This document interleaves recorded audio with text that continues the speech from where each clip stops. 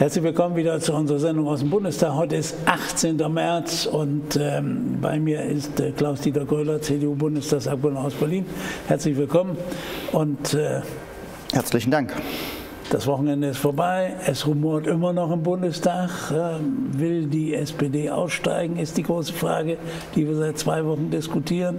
Ja, Wer wird Kanzlerkandidatin der CDU? Wird auch seit zwei Wochen permanent diskutiert, nimmt kein Ende, steigt Frau Merkel vorher aus. Vielleicht können Sie uns ein bisschen mehr erzählen. So. Ich weiß gar nicht, wo Sie dieses Rumoren und diese Diskussion hören, auch wenn heute ja, 18. März Zeitung. ist. Ja, ja, ja, das muss ja nicht immer stimmen. Auch wenn heute 18. März ist, ja, ja ein revolutionäres Datum. Aber äh, ich finde, man, man kann es an der Stelle auch mal äh, wieder ein ganz klein wenig äh, auf die Fakten zurückführen. Diese Diskussion, die da vom Zaun gebrochen äh, wurde, übrigens ja nicht von meiner Partei, äh, sondern vom kleineren Koalitionspartner, äh, war völlig überflüssig und ist in den Zeitungen dann, dann aufgebauscht worden. Die Frage stellt sich doch überhaupt nicht. Wir haben einen Koalitionsvertrag, wir haben einen Auftrag von den Wählerinnen und Wählern, bis 2021 für Deutschland vernünftige Politik zu machen.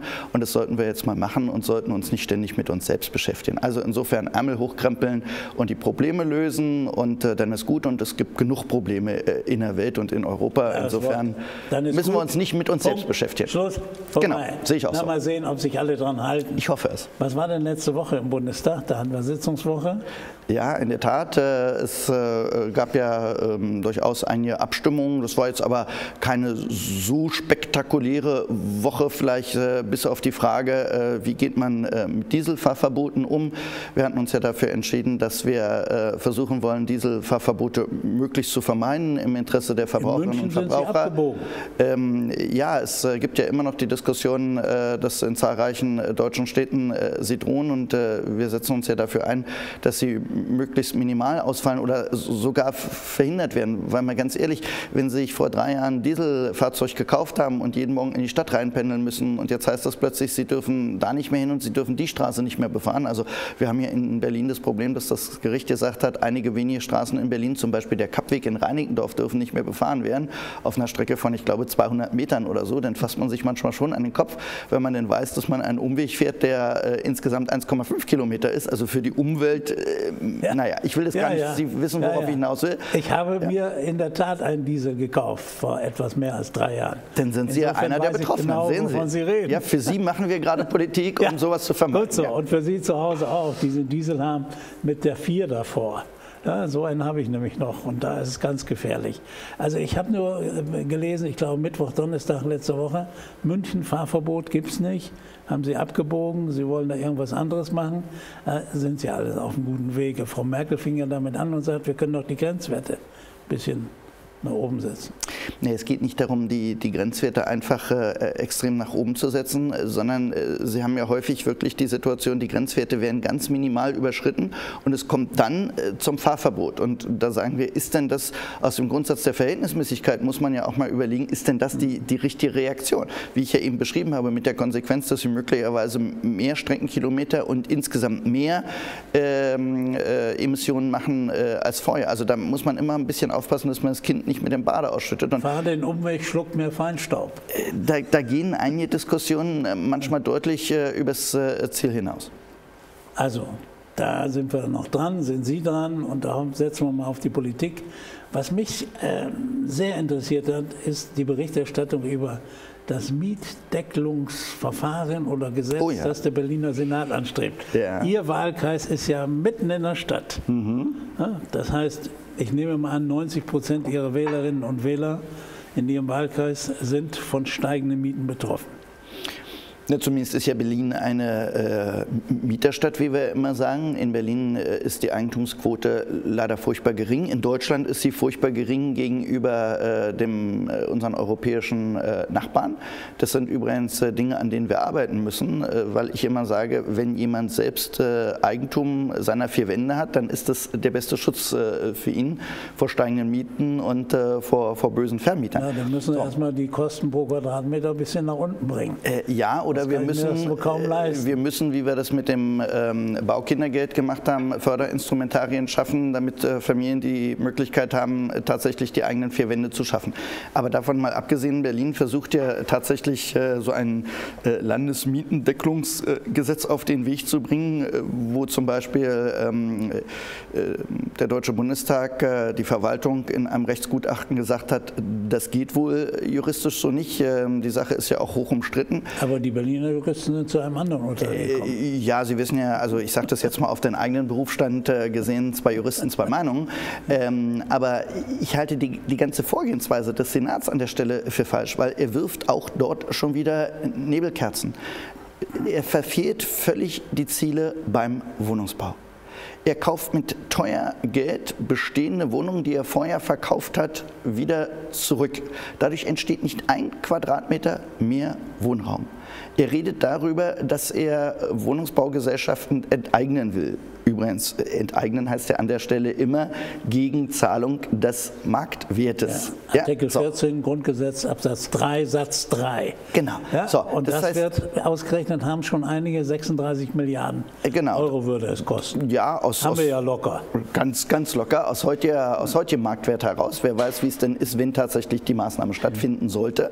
So, der Senat tut also alles, aber er baut keine Wohnung.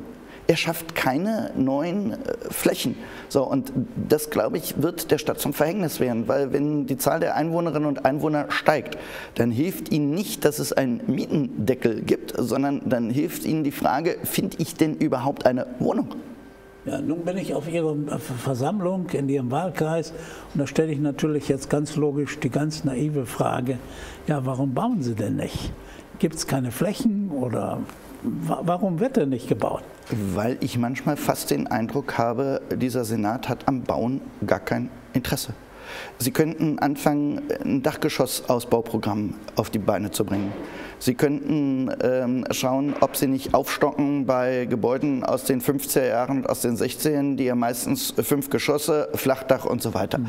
Es gibt also zahlreiche Möglichkeiten, ohne jetzt überhaupt eine zusätzliche Fläche zu versiegeln.